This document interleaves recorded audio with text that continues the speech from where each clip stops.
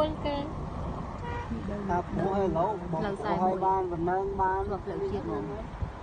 ទឹកហើយបាន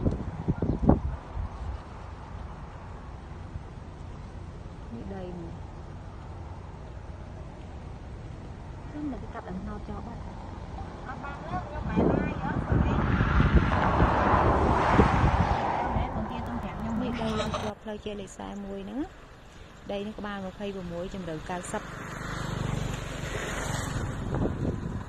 នេះផ្លូវផ្លូវ41ហ្នឹងណា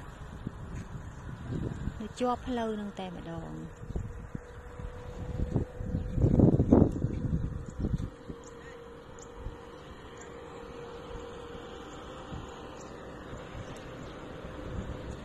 នោះផ្ទះសំណាក់គេធ្វើផ្ទះសំណាក់